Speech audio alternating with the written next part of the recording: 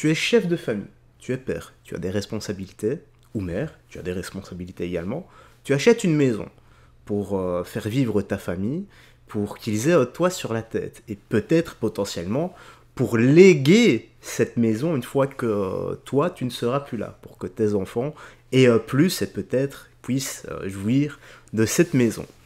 Mais voilà, tu te rends compte qu'en revenant de vacances, eh bien il y a des squatteurs chez toi.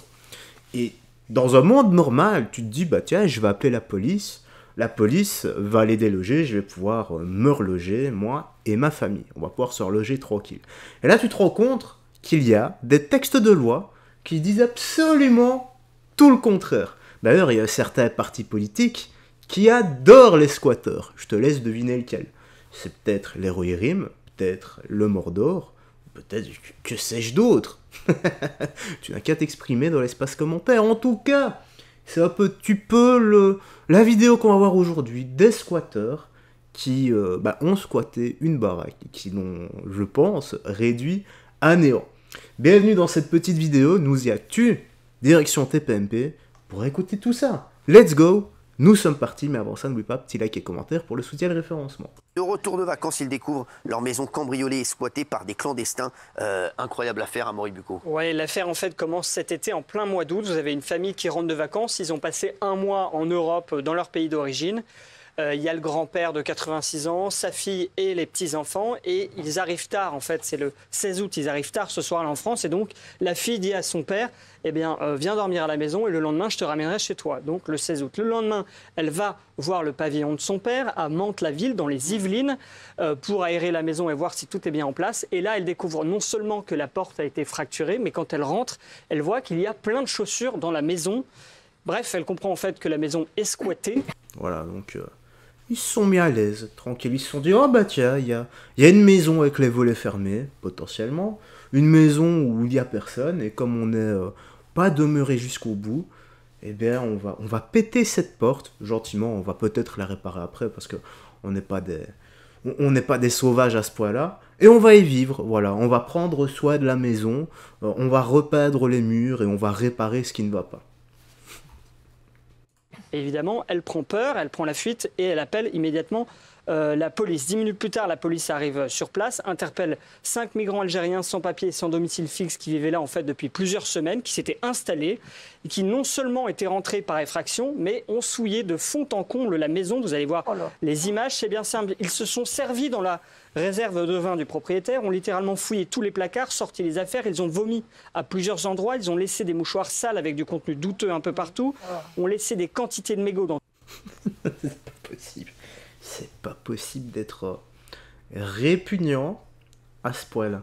Dire quand même que la justice laisse faire. Voilà. Il y a des procédures judiciaires qui prennent plusieurs semaines, plusieurs mois. Donc que dis-je, plusieurs années. Pendant que toi, bah, tranquille, bah, tu continues à, payer le, prêt pour eux. Voilà. Et si jamais tu ne payes pas euh, au gaz, électricité et autres conforts euh, ou abonnements que tu avais souscrits, eh bien, bah, c'est toi qui es un peu dans, dans la mouise, et pas eux. Je vous le dis, les gars, Stranger Things, le monde à l'envers, et eh ben là, encore une fois, nous sommes en plein dedans. Dans toute la maison, ont dormi dans tous les lits et ont fait leurs besoins pendant plusieurs semaines dans les toilettes, dans les toilettes sans tirer la chasse, puisqu'ils n'avaient pas réussi à ouvrir euh, l'eau du robinet. Et au passage. pas possible ça. Voilà, voilà, voilà c'est compliqué pour certains de. Voilà, de eau, gaz, électricité, voilà, c'est tourner une vanne parfois. De... C'est compliqué, voilà. Tirer une chasse d'eau, c'est, c'est, compliqué. J'imagine même pas l'odeur et le nombre de, maladies que tu attrapes juste en rentrant dans cette pièce et pire, en inhalant le tout, parce que ça, ça, ça traverse entièrement ton organisme. Ah, je te jure que là, les, personnes qui, ont, euh, qui sont là, ils avaient intérêt à avoir euh, un bon masque à gaz tu vois, un masque avec, euh, avec des filtres qui, qui purifient euh, l'air que tu inhales instantanément. Ça, ils ont également volé les bijoux de la famille. Bref, ça vous donne une idée de l'état lamentable dans lequel se trouve la maison quand les propriétaires reviennent de vacances. Alors évidemment, sur les conseils de la police, les propriétaires ont porté plainte. Les cinq squatteurs sont à ce moment-là placés en garde à vue. chez vous. Et là, stupeur, plus de nouvelles euh, pendant des semaines, rien de la part de la famille, jusqu'à ce que en fait, je m'intéresse à cette affaire, que je rentre en contact avec la famille. Ce qui se passe, c'est qu'en fait, le parquet de Versailles a décidé de classer l'affaire le jour même, à la condition que les cinq squatteurs ne reparaissent plus dans le secteur de Mantes-la-Jolie dans les six mois à venir. Bien sûr, le parquet n'a aucun moyen de contrôler euh, cette décision. Alors évidemment, pour la, pour la famille, c'est incompréhensible, pour la victime et sa famille. Ce monsieur de 86 ans aujourd'hui n'a toujours pas pu rentrer chez lui. Il habite à la fois chez sa fille et chez son fils par alternance. Euh, c'est sa famille qui a été obligée de nettoyer la merde, désolé pour le terme, laissée par les squatteurs et qui sont donc de nouveau ces squatteurs dans la nature sans sanction. Et le pire, c'est que j'ai longuement échangé aujourd'hui avec la fille de, la victime qui s'appelle Isabelle. Et elle me dit aujourd'hui que l'assurance qui s'appelle ProBTP ne veut rien prendre en charge pour la, pour la bonne raison que la maison ne serait pas dans les normes de sécurité. Il n'y aurait pas de volet, la bonne serrure, etc. Ce qui veut dire que non seulement la justice... Ça, les gars, les gars, les gars, les gars, je vais le redire, ça me rappelle une histoire d'un cambrioleur qui s'était introduit par le toit. Le toit était, avait des défauts, était un peu défectueux. Euh, le cambrioleur euh, bah, fait un trou dans le toit, passe à travers le toit, tombe dans la maison, se blesse, dépose une plainte et gagne le procès. Voilà. Ce, n'est pas la justice, ce sont des textes de loi qui favorisent euh, énormément tout ce qui est criminel et délinquant. On le voit sur la chaîne un peu tous les jours n'a rien fait, mais ce sont également les victimes qui ont dû passer deux jours entiers à tout nettoyer à 11. Ils étaient 11 pour le faire. Ils vont devoir encore payer une société pour désinfecter la maison, changer la literie, refaire les serrures. Et je vous permets de, me permettre de citer Isabelle, que j'ai eu au téléphone tout à l'heure, qui m'a dit On a souillé notre maison, c'est plus qu'un vol. J'ai l'impression que nous avons notre intimité. Aujourd'hui, mon père ne veut toujours pas retourner chez lui, c'est écœurant. J'ai l'impression que les honnêtes gens se font toujours avoir dans notre pays. Eh c'est un peu ça. D'ailleurs, les gars, le squat, c'est pas quelque chose de nouveau. Hein. Quand on regarde ici, il est hospitalisé, un squatter s'installe chez lui et ruine tout. Il casse ma maison.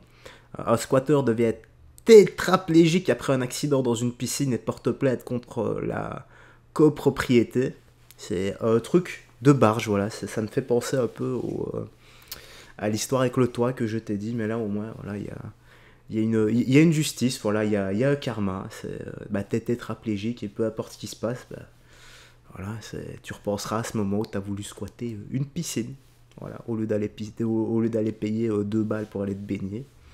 Voilà, tu as voulu commettre un acte de, de délinquance, bah, tu vas le payer jusqu'à la fin de ta vie. Ah, j'aime cette justice divine, j'aime ce karma. Ah, jumet, des squatteurs empêchent la mise en vente d'une maison inhabitée. Un squatteur attaque une copropriétaire en justice après s'être... Bon, ça, on vient de le lire. Des habitants excédés par un squatteur sous OQTF qui a fait euh, d'une maison inoccupée à Poix de Dille. C'est très impressionnant, de retour de vacances, il trouve des squatteurs portant des vêtements sur son canapé. Ses vêtements sur son canapé. Euh, on peut comprendre ce qu'elle a fait. Une femme ayant délogé ses squatteurs risque la prison. Il tire le squatter par l'oreille pour le sortir de son immeuble. L'être revient avec ses amis euh, pour le passer à tabac. Et le dernier, donc, jette les squatteurs de local de Bruxelles, propreté, doivent s'en aller. Truc de barge, hein, quand même. Voilà le monde dans lequel nous vivons, les gars. En tout cas, dis-moi toi dans l'espace commentaire ce que tu as pensé de tout ça. Prends soin de toi des gens que tu aimes et espérons que nous n'ayons jamais de squatteurs chez nous. Car Jésus, n'oublie pas ce que Jésus a dit, je suis le chemin, la vérité et la vie. Mais il n'a pas dit qu'on doit se laisser faire, même si lui avait l'habitude de tendre l'autre joue. Peace et faites très attention à toi.